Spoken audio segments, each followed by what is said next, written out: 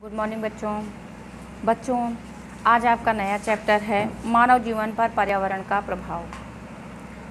पर्यावरण के अंतर्गत केवल बाहरी वातावरण, यानी कि वायु ही नहीं आती है। बच्चों, पर्यावरण के अंतर्गत प्रकृति द्वारा प्रदान पर्वत, पहाड़, वातावरण पेड़ पौधे समस्त वस्तुएँ, वात पर्यावरण के अंतर्गत ही आती हैं। इसमें भूमि, पानी, पर्वत, खनिज पदार्थ सभी आते हैं। इनका मानव जीवन पर क्या प्रभाव पड़ता है, आपको इस चैप्टर में यही बताया जाएगा। वैसे तो पर्यावरण के अंतर्गत हमारे आसपास का भौगोलिक वातावरण के अतिरिक्त हमारे सामाजिक पर्यावरण, यानी हमारे आसपास के रहने वाले लोग हमारे आसपास रहने वाले व्यक्ति भी प्रभाव डालते हैं तो यह भी पर्यावरण के अंतर्गत ही आता है। लेकिन आज इस चैप्टर में आपको सिर्फ़ भौगोलिक पर्यावरण के विषय में बताया जाएगा, बच्चों। पर्यावरण का शाब्दिक अर्थ क्या है? यानी पर्यावरण किसे कहते हैं? पर्यावरण के अंतर्गत हमारे चारों तरफ़, हमारे आसपास का वातावरण ही पर्यावरण कहलाता है।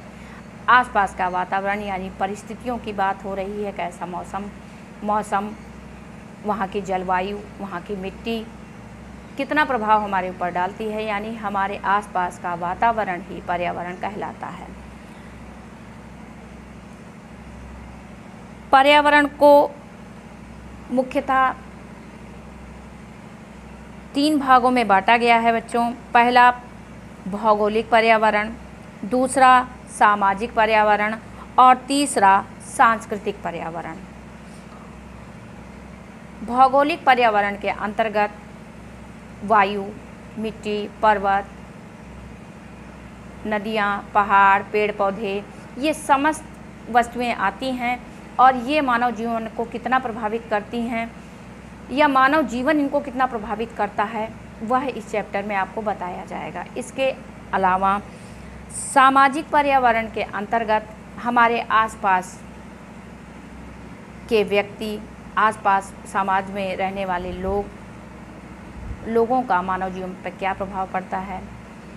यह मानव जीवन को बहुत ही प्रभावित करते हैं। जैसा आसपास का वातावरण होगा, वैसे ही आस वहाँ के रहने वाले लोग हो जाते हैं। जैसी वहाँ की बोली भाषा, जैसे वहाँ के रीति रिवाज, जैसी वहाँ की संस्कृति, वैसा ही वहाँ के अन्य लोग भी उसको धीरे धीरे मानने लगते हैं। यानी कि आसपास का वातावरण जैसा होगा, वहाँ के रहने वाले लोग वैसे ही उसी माहौल में ढल जाते हैं। अगला है बच्चों, सांस्कृतिक पर्यावरण। सांस्कृतिक पर्यावरण के अंतर्गत रीति रिवाज धार्मिक संस्कार जो जिस धर्म का मानने वाला है, जिसके यहाँ जो भी रीति रिवाज माने जाते हैं, जो त्यौहार मनाए जाते हैं धीरे धीरे बच्चे बचपन से ही बच्चे उन्हें देखकर उन चीज़ों को किसी विद्यालय में सीखने की ज़रूरत नहीं है किसी अध्यापक को बताने की ज़रूरत नहीं है। बच्चे परिवार से ही धीरे धीरे बचपन से ही उन्हें ज़्यादातर चीज़ें धर्म के विषय में रीति रिवाजों के विषय में उन्हें पता चल जाती हैं। तो ये है सांस्कृतिक पर्यावरण। यानी जी, हम जिस माहौल में रहते हैं, वहाँ जिस भी धर्म को माना जाता है, जिन रीति रिवाजों को माना जाता है बच्चों, उसका अनुकरण समाज के अन्य लोग भी करने लगते हैं। पर्यावरण से लाभ। पर्यावरण से, यहाँ पर भौगोलिक पर्यावरण के विषय में आपको बताया जाएगा। अन्य टॉपिक का यहाँ पर नहीं यहाँ पर चर्चा नहीं की गई है, केवल यहाँ पर भौगोलिक पर्यावरण का मानव जीवन पर क्या प्रभाव पड़ता है आपको इस टॉपिक पर बताया जाएगा। बच्चों तो यहाँ पर भौगोलिक पर्यावरण से मानव को क्या लाभ हैं, ये बताऊँगी। प्रत्येक प्राणी के जीवन का आधार वायु है, और आप सभी को पता है कि वायु हमें प्रकृति से मुक्त मुफ़्त में मिलती है। आसपास जितने अधिक पेड़ पौधे होंगे बच्चों, उतनी ज़्यादा स्वच्छ वायु हमें प्राप्त होगी। वायु भी हमारे आसपास के वातावरण वातावरण पर निर्भर करती है। वायु में सभी गैसों का मिक्सचर होता है, मिश्रण होता है, समांगी मिश्रण, जिसे ये तो नहीं कहा जा सकता कि हम केवल, वायु में केवल ऑक्सीजन ही लेते हैं, क्योंकि वायु में गैसों का मिश्रण होता है, जिसमें वायु का प्रतिशत नाइट्रोजन से कहीं ज़्यादा कम होता है। वायु का प्रतिशत ऑक्सीजन का प्रतिशत केवल 28 परसेंट होता है, जबकि नाइट्रोजन का प्रतिशत 78 परसेंट होता है, यदि ऑक्सी, क्योंकि बच्चों, आप सभी को पता है कि जो ऑक्सीजन गैस होती है, वह जलाने में सहायक होती है। और इसी कारण यदि हम ये कहें कि हम इसे, यदि हम केवल ऑक्सीजन ग्रहण करना चाहें तो ऐसा संभव नहीं होगा। इससे हमारी जो श्वसन अंग तंत्र हैं, वो जल जाएँगे, क्योंकि यह जलने में बहुत अधिक सहायक होती है। इसीलिए यह नाइट्रोजन के साथ श्वसन में ली जाती है और तभी यह श्वसन योग्य होती है। और अच्छे पर्यावरण से पृथ्वी की उर्वरक शक्ति बढ़ती है। शुद्ध जल की प्राप्ति भी में अच्छे पर्यावरण से ही होती है। जंगलों को काटने से कई समस्याएँ जैसे बाढ़, सूखा आदि हो सकते हैं। वनों से विभिन्न प्रकार की औषधियाँ प्राप्त होती हैं, जो कई रोगों में काम आती हैं। तो ये बच्चों, ये रहे पर्यावरण से लाभ। अब पर्यावरण का जनजीवन पर क्या प्रभाव पड़ता है? बच्चों पर्यावरण से ही यदि हमारे आसपास का वातावरण पर्याप्त संतुलित नहीं होगा, यानी कि यदि बाहर की वायु, मिट्टी कहीं पर भी किसी प्रकार की छेड़छाड़ होती है तो उसका प्रभाव सीधे मानव जीवन पर पड़ता है।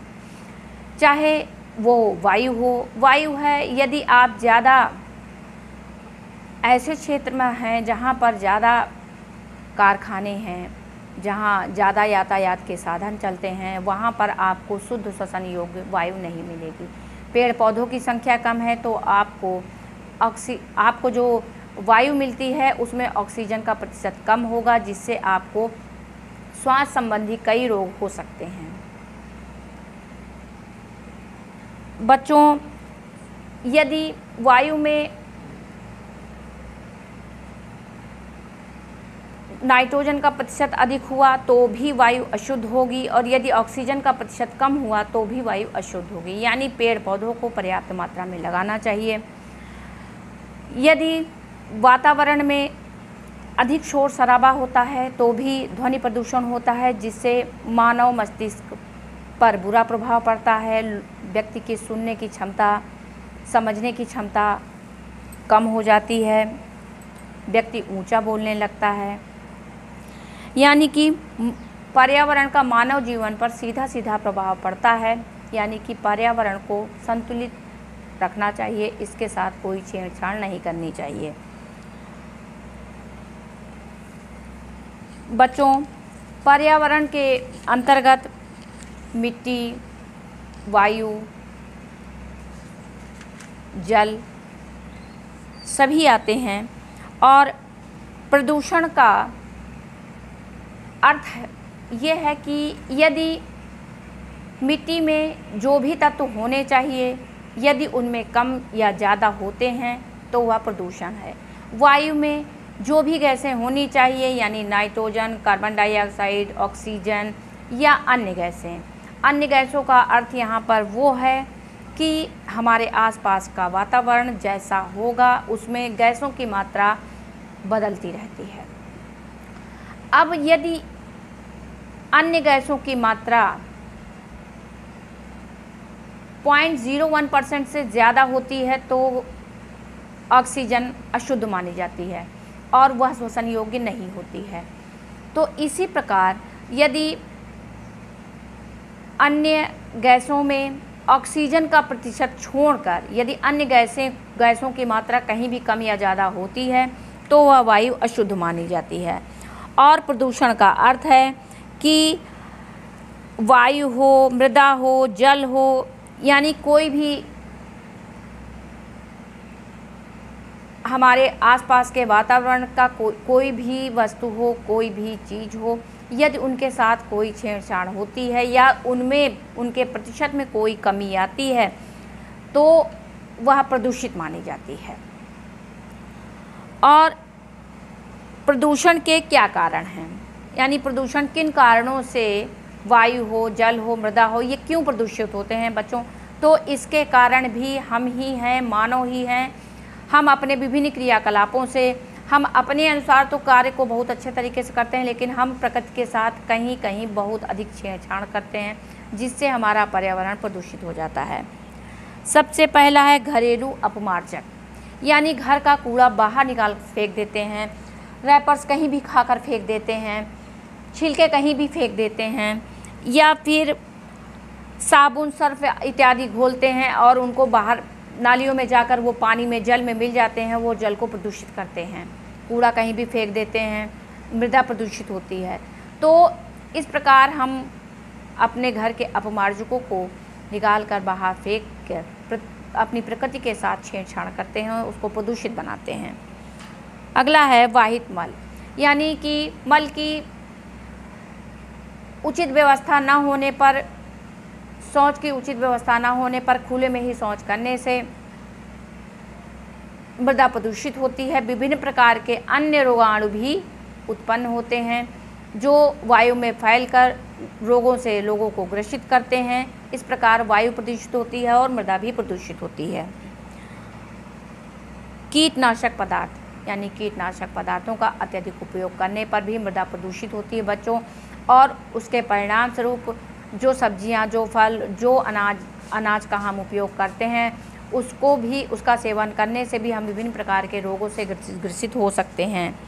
औद्योगिक तलछट, यानी कि औद्योगिक पदा जो विभिन्न प्रकार की फैक्ट्रियाँ हैं, औद्योगिक केंद्र हैं, वहाँ से निकलने वाली विभिन्न प्रकार की गैसें, अपशिष्ट पदार्थ निकल कर वहाँ से वातावरण को, जो गैसें हैं, वो वातावरण की वायु को अशुद्ध करती हैं और वहाँ से जो अपशिष्ट पदार्थ निकलते हैं, विभिन्न प्रकार के रासायनिक पदार्थ निकलते हैं, वो मृदा को प्रदूषित करते हैं, जल को प्रदूषित करते हैं, क्योंकि वो, ये अपशिष्ट पदार्थ निकल कर नदियों में ही छोड़ दिए जाते हैं, जिससे वहाँ का जल अशुद्ध हो जाता है। और यदि इनका उपयोग मानव करता है तो विभिन्न प्रकार के रोगों से ग्रसित होता है। अगला है बच्चों, धुआँ। धुआँ पर्यावरण में मिलकर वायु को अशुद्ध बनाता है, जिसमें कि वायु में अन्य जितनी भी गैसें हैं, उनका संतुलन बिगड़ जाता है और इस प्रकार अशुद्ध वायु का सेवन करने से हम फेफड़े संबंधी कई रोगों से ग्रसित हो सकते हैं। कूड़े, करकट और लाशों का सड़ना। यानी कि यदि कूड़े करकट का उचित स्थान पर निस्तापन ना किया जाए या लाशों को इधर उधर कभी कभी जल में भी या जीव जंतुओं के मर जाने पर इधर उधर वो सड़ते रहते हैं तो वो विभिन्न प्रकार की गैसें उनसे निकलती हैं, जो स्वास्थ्य के लिए कहीं कहीं ज़्यादा हानिकारक होती हैं और वो अपशिष्ट पदार्थ मृदा को भी प्रदूषित करते हैं। बच्चों अगला है आपका ध्वनि। बच्चों, सबसे ज़्यादा वायु को प्रदूषित करने वाली यह ध्वनि ही है, यानी कि विभिन्न प्रकार के यातायात के साधनों से लाउड स्पीकरों से, बहुत अधिक शोर शराबे से वायु प्रदूषित होती है और इसे ध्वनि प्रदूषण कहते हैं और ध्वनि प्रदूषण के कारण व्यक्ति की सुनने की क्षमता प्रभावित होती है। यहाँ तक कि व्यक्ति बहरा भी हो जाता है, उसकी हृदय गति तेज हो जाती है, यानी वो हृदय संबंधी रोगों से भी ग्रसित हो सकता है।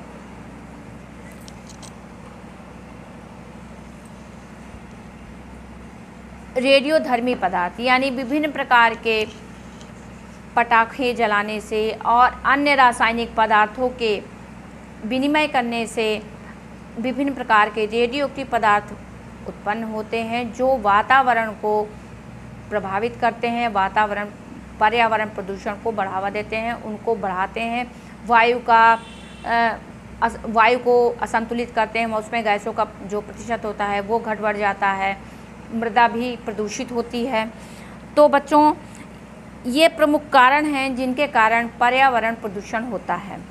अब आपको अगले वीडियो में आगे की चीज़ें बताई जाएँगी। आज के लिए बस इतना ही। Thank you.